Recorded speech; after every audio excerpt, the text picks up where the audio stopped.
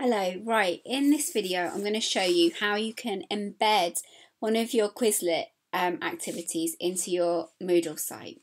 So you go to your set that you want to embed, you click on it. Now you need to go to more. You click on more and then you click on embed. Now what it's going to give you here are basically some little bits of HTML code that you can copy onto your Moodle site and then your game will be embedded and live on your Moodle site when your students see it.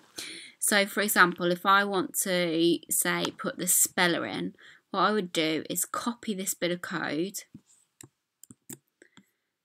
and then I would open up my Moodle page and here I've got a empty box.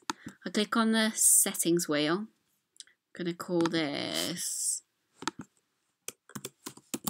human rights spellings and then in the box I now need to add some HTML so I click on the HTML button and then all I do is copy across the little snippet I've just taken from the website click on update and then there it appears automatically on my Moodle page. So if I just go down to the bottom, save changes, and then you should be able to see if everything was working. Let me just refresh the screen. Okay, I'm going to scroll right down to the bottom of my Moodle page, which has clearly got far too much in. Okay, and then there is what we've just created. So here's my human rights spellings. And this is on my Moodle page, and I've created a nice interactive resource the students can play on straight from their Moodle. Um, Interfere. Oh, and there we go. And then I write in my spelling, and I play it just as I would. Labor on the website. So for this one, students don't even have to log in, they don't have to sign up. They can go to their Moodle page and they can play it on here. And if they don't like the spelling one, then they can click and change it and they can play scatter and it changes it. And they can play that game. Or if they don't like that, then they can click on flashcards and it changes it to that one.